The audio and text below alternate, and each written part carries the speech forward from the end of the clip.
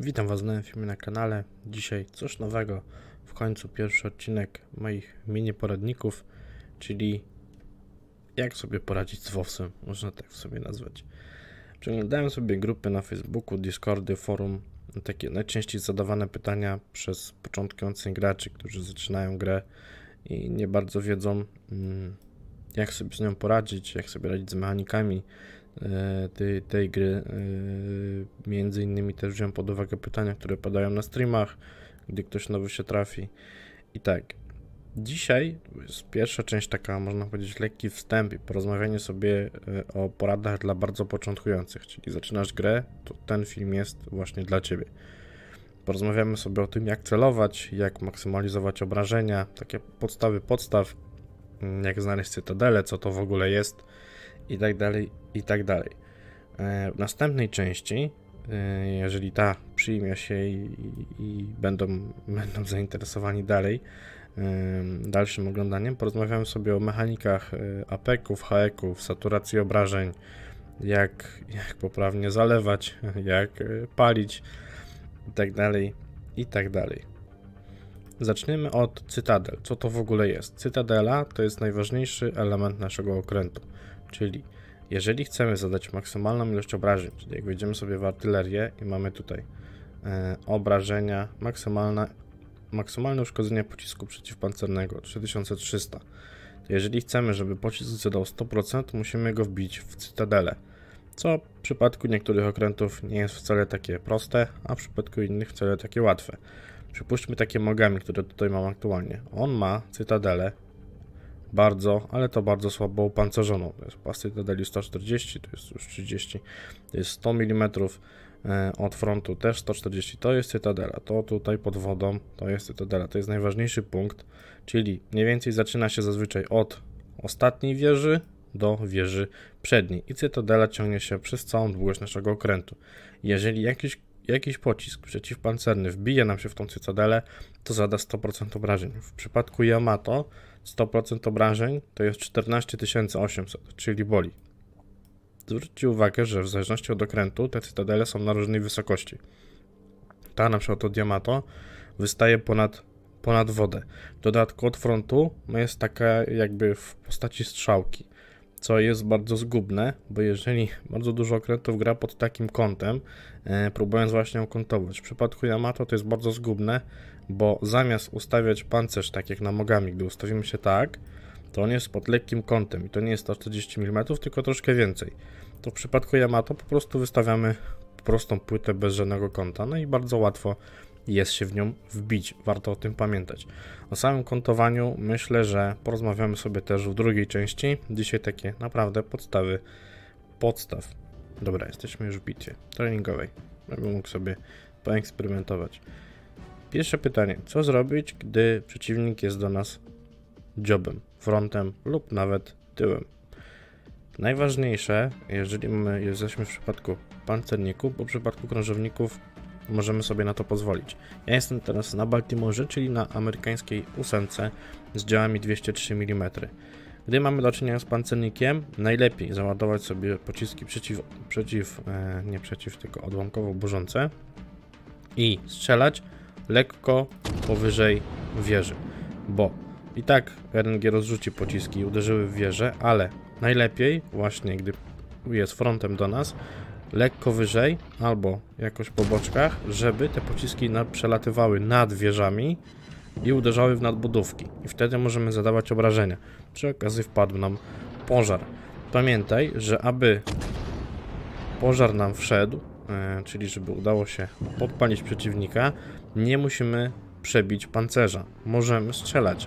Oczywiście po jego najtwardszym elemencie, czyli po pancerzu burtowym, mieć cały czas rozkruszenia. Tutaj udało się zadać obrażenia, bo to jest dziób, on jest słabo opancerzony. Ale zaraz jak przepłynę sobie burtą do, do tego Amagiego, to te moje hajki nie będą robiły praktycznie nic, chyba że RNG polosuje i ono pójdzie troszkę wyżej. Tutaj zadaję obrażenia, bo dziób jest bardzo lekko opancerzony. Czyli dziób, burty, e, nie burty, tylko nadbudówki. Jeżeli ładujemy z pocisków odłamkowych musimy strzelać po nadbudówkach, bo strzelając po E, w tym najtwardszym fragmencie będziemy mieli tylko rozkruszenia. Tutaj są działa 203 mm. E, te amerykańskie 203 mm robią siekę i to bardzo konkretne, jeśli chodzi o przeciwnika. E, można sobie nimi nawet pozwolić strzelając w przeciwpancernych w e, okręty właśnie takie jak pancerniki, a zwłaszcza amagi. To możemy sobie pozwolić na apeki, co sobie zaraz pewnie zrobimy. Czyli tak, nie musimy przez yy, z, spenetrować przeciwnika, żeby mu zadać obrażenia. No oczywiście mu zadaje, bo jeszcze jest bąbel przeciwtorpedowy, czyli złego sobie, złego sobie e, przeciwnika wybrałem, ale zaraz przełączymy sobie na apek i spróbujemy mu wrzucić cytadelę. I tak, żeby trafić cytadelę, musisz pamiętać, że najlepiej, wiadomo, różne okręty na różnej wysokości cytadele mają, wyżej, niżej, e, najlepiej jest strzelać mniej więcej na linii wody. Pamiętaj, że pocisk, który przeleci linię wody, e, najprawdopodobniej mi się nie uda go przebić, zresztą w sumie zaraz się spali. E, on dalej leci. To nie jest tak, że jak on walnie w wodę, to już nagle znika i to tyle po nim. Te pociski dalej lecą. I aby zmaksymalizować sobie na początku e, yy, prawdopodobieństwo trafienia cytadeli, najlepiej walić mniej więcej na tym poziomie. I pyk 4 cytadele, 20 tysięcy. Nogami to jest y, ogrom ze szkła, Czyli ci, co widzieli mój bodajże przedostatni materiał, to wiedzą, że można sobie w niego spokojnie dwie salwy, kolejne cztery cytadele. I w zasadzie to tylko, tylko RNG go uratowało, bo tutaj spokojnie mogło być ich znacznie więcej. Próbujemy drugie mogami, kolejne cytadele, czyli w ten sposób, strzelając mniej więcej na linię wody, e, możemy sobie pozwolić na, e, możemy mieć szansę na jak największe nastrzelenie cytadeli. Teraz tak, e, jeżeli jesteśmy burtą do przeciwnika, przypuśćmy, że tu nogami jest pancernikiem, a my mamy niski kaliber, czyli najprawdopodobniej jesteśmy na niszczycielu lub e, lekkim krążowniku, to nasze hajki mogą nie zrobić nic na ten, no słabego sobie przeciwnika, mogą sobie wziąć Bismarka jakiegoś, e, żeby mm, żeby to zmaksymalizować. Wtedy z hajaków, jeżeli nasze przeciwpancery nie robią nic na burcie przeciwnika, możemy się przełączyć na hajeki i ładować po nadbudówkach. Te nadbudówki w zależności od okrętu też mają swoje pancerze, ale wtedy mamy znacznie, ale to znacznie większe szanse na zadanie obrażeń. Pamiętaj tylko, aby zwrócić uwagę, bo Tutaj wchodzi już w grę saturacja obrażeń, o której konkretnie sobie porozmawiamy w następnej części, ale jeżeli nadbudówki robią się coraz ciemniejsze, to znaczy, że mają coraz mniej... O, zobacz, tutaj się od razu zrobiły takie czarne. Im one są ciemniejsze, czym, czyli czytaj zniszczone, tym mniej obrażeń przyjmują. Te nadbudówki mają swoje hapeki, tak jakby oddzielne. Każdy moduł okrętu jest podzielony i ma swoją część hapeków. I nasze haki będą zadawać coraz mniej obrażeń. Próbujemy jeszcze raz temu mogę jemu wrzucić jakąś nawet na tej odległości. Może się uda. Poszło. Zobaczymy, czy coś z tego będzie.